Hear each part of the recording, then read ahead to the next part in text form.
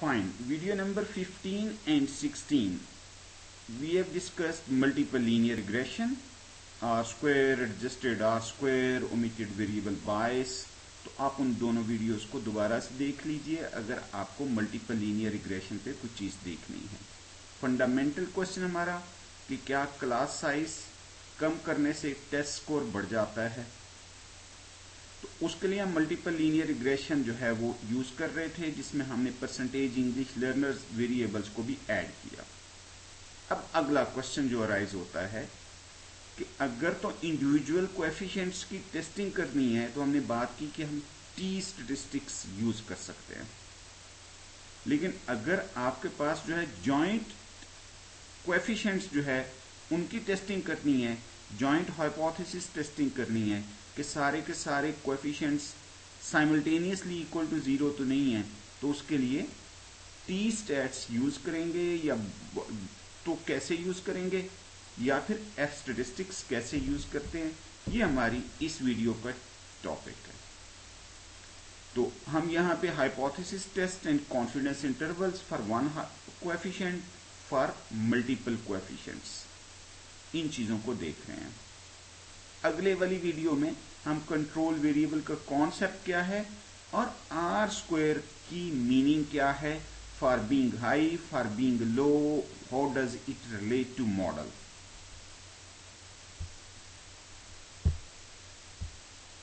तो single coefficient आप सबको पता है, हम ये बार बार वीडियोस में डिस्कस कर चुके हैं। Beta one hat minus expected value of beta one hat divided by standard error of beta one hat तो उसके लिए confidence interval beta one hat plus minus one point nine six into standard error of beta one hat one point nine six sample size आपने large assume किया तो z की value z statistics की value जो at ninety eight five percent critical level आती है level of significance आती है, उसको आपने यूटिलाइज किया।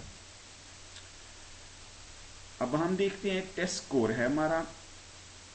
उसको हमने रिग्रेस किया क्लास साइज़ पे स्टूडेंट टीचर रेशो पे, आपके पास जो रिज़ल्ट आया, वो रिज़ल्ट आया कि आपके पास minus two point two eight जो है वो कोएफिशिएंट है तो क्लास साइज़ वन कम करने से टेस्ट को two point two eight unit increase हो जाता है। लेकिन जब हमने उसमें एक additional variable percentage English learners डाला, जो कि हमने प्रीवियस वीडियोस में डिस्कस किया तो आपका ये जो कोएफिशिएंट है ये ऑलमोस्ट 100 परसेंट रिड्यूस हो जाता है। इट मींस और ये वेरिएबल सिग्निफिकेंट भी है because 0.65 divided by point zero three one जो उसका स्टैंडर्ड एरर है तो इट मींस कि अगर आपने इसको मॉडल में यहाँ पे इंक्लूड नहीं किया था तो ये वाला वेरिएबल कहाँ पड़ा था? ये यूआई में था।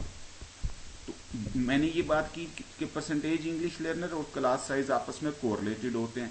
अगर ये कोरिलेटेड है तो इसका मतलब है ये वेरिएबल यूआई में था U I student teacher ratio से कोरिलेट कर गया तो O L S estimators biased हो गए और आपकी basic assumption expected value of U given X भी वायलेट हो गई और there are some other issues तो एक तो ये 100 परसेंट रिड्यूस हुआ कोएफिशिएंट स्टूडेंट टीचर रेशियो का। It means percentage English learner को इग्नोर करना वाज सीरियस मिस्टेक अब इसके बाद हम इनका 95 परसेंट कॉन्फिडेंस इंटरवल कैसे कैलकुलेट करते हैं? तो minus one plus minus one point nine six अगर टू साइडेड टेस्ट है into standard error of beta one hat तो वो आपके पास minus one minus plus minus into standard error of beta one है तो ये आपके पास कॉन्फिडेंस इंटरवल आ गया। टी स्टेटिस्टिक्स भी simply coefficient divided by standard error हम स्टेटा में कैसे करते हैं? विल विल डू दैट हम अपनी वर्कशॉप जो इस पूरे मल्टीपल लीनियर रिग्रेशन पे होनी है, उसमें चेक करेंगे। अब क्वेश्चन जो इंपॉर्टेंट है, इस वीडियो का क्वेश्चन जो है, वो ये है कि जॉइंट हाइपोथेसिस टेस्टिंग कैसे की जाए? कैसे ये टेस्ट किया जाए कि ये this one this one this one तीनों ज़ीरो हैं या कोई से दो ज़ीरो हैं? तो आपने नल हाइपोथेसिस है H not beta one equal to zero and beta two equal to zero तो दो कोएफिशिएंट्स को आपने ज़ीरो रिस्ट्रिक्शन लगा दिया है। दो कोएफिशिएंट्स को आपने कह दिया कि वो ज़ीरो हैं। तो दो रिस्ट्रिक्शंस आपने लगाई हैं, जिसको हम कहते हैं R is equal to two और Q is equal to two alternative क्या है? कि at least one of them is not zero at least one of them is not zero वो बेटा वन भी ज़ीरो ना हुआ तो भी रिजेक्ट हो जाएगा बेटा टू ज़ीरो ना हुआ तो रिजेक्ट होगा, दोनों के दोनों ज़ीरो ना हुए तो डेफिनेटली रिजेक्ट हो जाएगा। इसको टेस्ट कैसे किया जाए? इस पे क्यों हम अलग अलग से टी स्टेट्स नहीं यूज़ कर लेते? ये हमारा क्वेश्चन है। तो अब देखिए, इस पे हम जो है वो Q is equal to two T है, ये वो सारी बातें जो भी मैंने कह दी हैं। अब एक है कि हम एक पे T1 अलग से लगा लें T2 अलग से लगा लें और फिर ये चेक करें कि अगर ये 1.96 से ग्रेटर हुआ तो ये रिजेक्ट कर दीजिए, ये अगर ग्रेटर हुआ तो ये रिजेक्ट कर दीजिए और या ये रिजेक्ट हुआ ग्रेटर हुआ, ये ना हुआ तो भी नल हाइपोथेसिस रिजेक्ट हो जाएगा, ये ग्रेटर हुआ, ये ना हुआ तब भी नल हाइपोथेसिस रिजेक्ट हो जाएगा। So, it means either T1 is greater than 1.96 or T2 is greater than 1.96 or both greater than 1.96 null hypothesis reject हो जाएगा तो हम ये क्यों नहीं करते? हम ये काम इस तरह से क्यों नहीं करते? इसको देखने की ज़रूरत है, इसको समझने की ज़रूरत है। तो देखिए, हम ये कह रहे हैं कि probability T1 is greater than 1.96 or T2 is greater than 1.96 और both greater than 1.96 तो ये होगा नल हाइपोथेसिस इनकरेक्टली रिजेक्ट होने का। ये हो, ये चीज़ होगी कि नल हाइपोथेसिस आपका रिजेक्ट हो रहा है।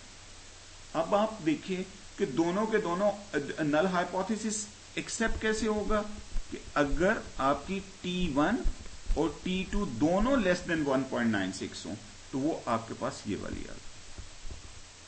This is the probability of incorrectly rejecting the null hypothesis उसी को हम थोड़ी सी प्रोबेबिलिटी आप चेक कर लीजिएगा।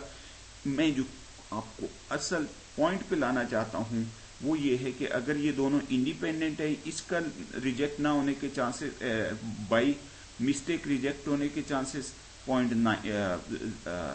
ज़ीरो फाइव है, इसके पॉइंट ज़ीरो फाइव है, रिजेक्ट ना होने के चांसेस पॉइंट नाइन फाइव है तो ये दोनों इंडिपेंडेंट है, पॉइंट नाइन फाइव स्क्वेयर आ गया तो इसको जब हमने देखा तो बेसिकली हमें ये पता चला कि टाइप वन एरर जो है, वो probability point zero nine seven five बन जाती है, अगर हमने दोनों कोएफिशिएंट्स पे अलग अलग टी वन लगा के नल हाइपोथेसिस को रिजेक्ट किया जबकि हमारी जो लेवल ऑफ़ सिग्निफिकेंस है, वो फाइव परसेंट है। अगर तो आप ये ये वाला लेवल ऑफ़ सिग्निफिकेंस यूज़ कर लें, यानी कि पी वैल्यू अगर पॉइंट ज़ीरो फाइव आई तो हम क्या करेंगे? पॉइंट ज़ीरो सिक्स तो चूँकि वो इससे ग्रेटर आई है, हम रिजेक्ट कर देंगे। हालाँकि एक्चुअल लेवल ऑफ़ सिग्निफिकेंस क्या बन गया है? Point zero nine seven five इसलिए हम टी स्टेट्स यूज़ नहीं करते, बात अगर नहीं भी फॉलो हुई तो there are issues in level of significance in type one error when you apply T stat separately on each coefficient for joint testing तो उसके आसान वे ये है कि हम जो है ना वो ये एक वे ये है कि बॉन फेरोनी मेथड यूज़ कर लिया जाए, जो कि बहुत ज़्यादा प्रैक्टिस में यूज़ नहीं है। दूसरा जो मेथड है, जो कि इन प्रैक्टिस है, जो आपको पढ़ाया जाता है, हम उसकी तरफ़ आ जाते हैं, हम उसको यूज़ कर लेते हैं। और वो मेथड बहुत ही सिंपल है। वो सिंपल मेथड ये है कि आपने ये कहा कि beta two equal to zero beta three equal to zero तो ये हाइपोथेसिस बन गया। तो अब आपने ये दो रिस्ट्रिक्शंस लगाई हैं तो this is called restricted model this is called restricted model इस मॉडल पे कोई रिस्ट्रिक्शन नहीं थी तो ये क्या है? अनरिस्ट्रिक्टेड मॉडल है। आपको पता है कि जब आप वेरिएबल्स ऐड करते जाएँगे तो यू आई कम होता जाएगा। Sum of squares of residuals जो है, वो रिस्ट्रिक्टेड मॉडल का अनरिस्ट्रिक्टेड मॉडल का कम होगा, क्योंकि इसमें ज़्यादा वेरिएबल्स हैं। Sum of squares of residuals restricted model का, क्योंकि दो रिस्ट्रिक्शंस लगाई हैं beta two equal to zero beta three equal to zero तो ये मॉडल बना है। Sum of squares of restricted model जो है, उसका आपके पास क्या होगा? Sum of squares of residuals ज़्यादा होगा। अब क्या ये ज़्यादा, इतना ज़्यादा है कि इन दोनों के दरमियान जो गैप है, वो बहुत ज़्यादा हुआ तो हम कहेंगे कि नहीं जी, ये रिस्ट्रिक्शंस जो है, लगाना सही नहीं है, क्योंकि ये दोनों आपस में सिग्निफिकेंटली डिफरेंट हैं, ये दोनों मॉडल्स एक दूसरे से। अगर ये दोनों values very close to each other हो तो हम क्या कहेंगे कि रिस्ट्रिक्शन लगाने से कोई मॉडल की जो है टेस्ट स्कोर को एक्सप्लेन करने पे बाकी वेरिएबल्स का बहुत ज़्यादा रोल नहीं आया तो वी कैन से कि ये रिस्ट्रिक्शंस वैलिड है, हम बेटा टू बेटा थ्री इक्वल टू ज़ीरो कह सकते हैं। तो यहाँ पे दो रिस्ट्रिक्शंस लगा रहे हैं तो क्यू टू है। अगर आप बेटा वन बेटा टू बेटा थ्री तीनों इक्वल टू ज़ीरो टेस्ट करेंगे तो क्यू थ्री हो जाएगा। अब इसके जो है वो लिटरेचर में दो तीन मेथड्स गिवन है। मैं यहाँ पे आपके सामने एक मेथड जो है वो उसी इसने आर स्क्वायर दिया हुआ है। मैं आपके सामने वो लिख देता हूँ कि एफ़ स्टैट्स क्या होगी? Sum of squares of residuals from restricted minus sum of squares of residuals from unrestricted हमें पता है कि ये सेकंड वाला हमेशा कम होगा। पहले वाले से, क्योंकि सम ऑफ़ स्क्वेयर जितने भी इसमें वेरिएबल ज़्यादा हैं divided by number of restrictions divided by sum of squares of residuals, unrestricted, divided by n sample size है माइनस के दो दो पैरामीटर्स पे उसमें तीन आपके कोएफिशिएंट्स थे बेटा वन बेटा टू बेटा थ्री माइनस के और एक इंटरसेप्ट भी था तो minus one N minus K minus one इसी को अगर आप थोड़ा सा, जैसे हमें पता है कि जी आपके पास टोटल सम ऑफ़ स्क्वायर्स होता है equal to explained sum of squares plus sum of squares due to regression तो अगर आप इसको इसको थोड़ा सा मैन्यूवर करें तो ये चीज़ आ जाती है। उसने इसको आर स्क्वेयर की फॉर्म में लिख दिया। तो आपको पता है आर स्क्वेयर अनरिस्ट्रिक्टेड का ज़्यादा होगा। देखिए sum of square of residuals restricted का ज़्यादा होगा। आर स्क्वेयर अनरिस्ट्रिक्टेड का ज़्यादा होगा क्योंकि जितने वेरिएबल ज़्यादा डालते जा रहे हो आर स्क्वायर बढ़ता जा रहा है। तो उसी की थोड़ी सी मैथमेटिकल मैन्यूवरिंग करें तो ये इस फॉर्म में भी आप लिख सकते हैं।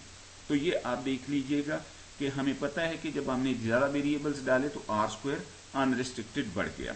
तो एनी मैं कट इट शार्ट अब अगर R square unrestricted R square restricted से ज़्यादा, उनके दरमियान ज़्यादा गैप होगा तो हम ये कहेंगे कि वो रेस्ट्रिक्शंस होल्ड नहीं करती बेटा टू और बेटा थ्री को आप ज़ीरो नहीं कह सकते। और अगर ये दोनों आपस में क्लोज हुए एफ़ की वैल्यू जो है less than three less than four हुई तो आप क्या कहोगे कि नल हाइपोथेसिस को आप रिजेक्ट कर देते हैं। ये दोनों वेरिएबल्स मॉडल में इंपॉर्टेंट है। या टेस्ट स्कोर को एक्सप्लेन करने में हेल्प करते हैं।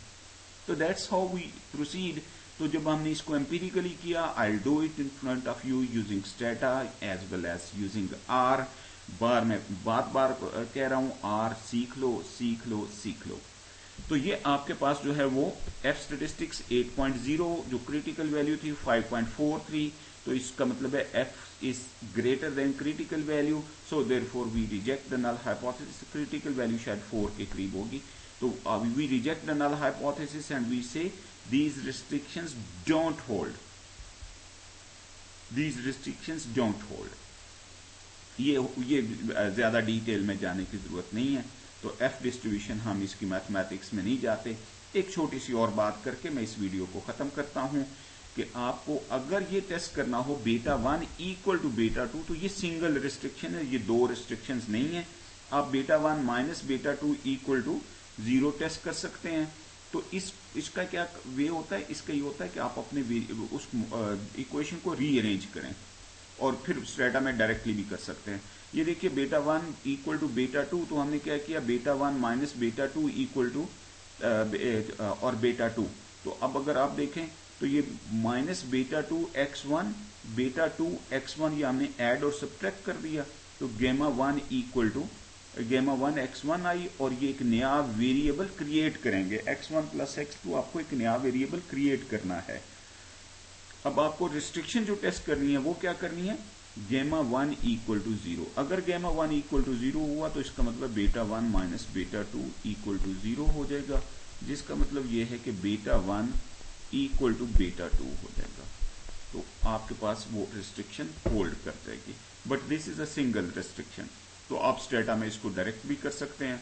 Student teacher ratio is equal to expenditure per student will discuss this using Stata as well तो प्लीज़ कीप ऑन वॉचिंग अगले वाली वीडियो में हम थोड़ी सी बात ये करेंगे कि आर स्क्वायर हाई होना आर स्क्वायर लो होना तो क्या इससे मॉडल का अच्छा या बुरा होना या कम कम अच्छा होना साबित होता है, नहीं होता तो प्लीज़ स्टे इन ट्यून और जो क्वेश्चंस हैं उसको आप कमेंट्स में नीचे भेज दीजिए। जो लोग क्लास के हैं, वो जब क्लास हो, उस वक्त पूछ लीजिए। Thank you very much take care